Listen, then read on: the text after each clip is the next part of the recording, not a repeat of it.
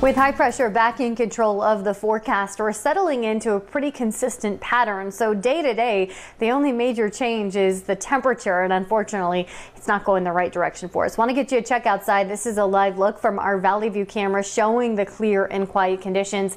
Each day, we'll see a lot of sunshine with calm wind, nothing more than about a 10 to 20 mile per hour gust, but that temperature continues to climb as we approach the weekend.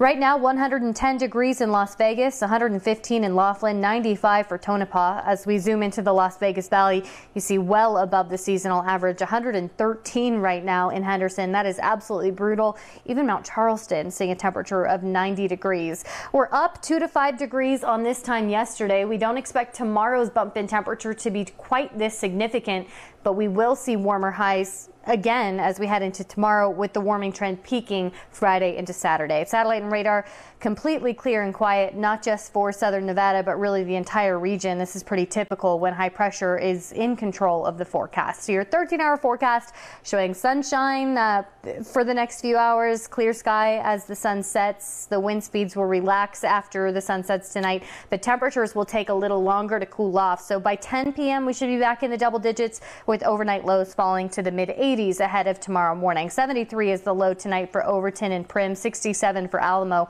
But in the Las Vegas Valley, pretty warm, pretty mild still heading into tomorrow morning with temperatures in the mid 80s. Highs tomorrow bumping up from where we landed today. That means 109 tomorrow in Pahrump, 102 for Caliente tomorrow, 118 the forecast high for Laughlin in the 120s for Death Valley tomorrow. The Las Vegas Valley should be right around or slightly above 110 degrees with the forecast high of 111 for Las Vegas, 112 for North Las Vegas, even Red Rock near 107.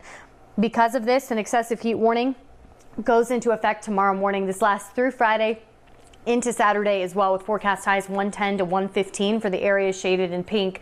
For the mountains, the Sheep Range and the Spring Mountains, we actually have a heat advisory for the same time period. We expect Kyle Canyon up to about 90 degrees and Red Rock, Red Rock in the triple digits. This isn't just for one or two days. This will stick with us through the weekend. Right now, that excessive heat warning is set to expire Saturday night, but I wouldn't be surprised if it's eventually extended because you see Sunday into Monday, we stick near 110. And even with the heat relaxing a little bit, we're still staying well above average through at least the middle of next week. Todd?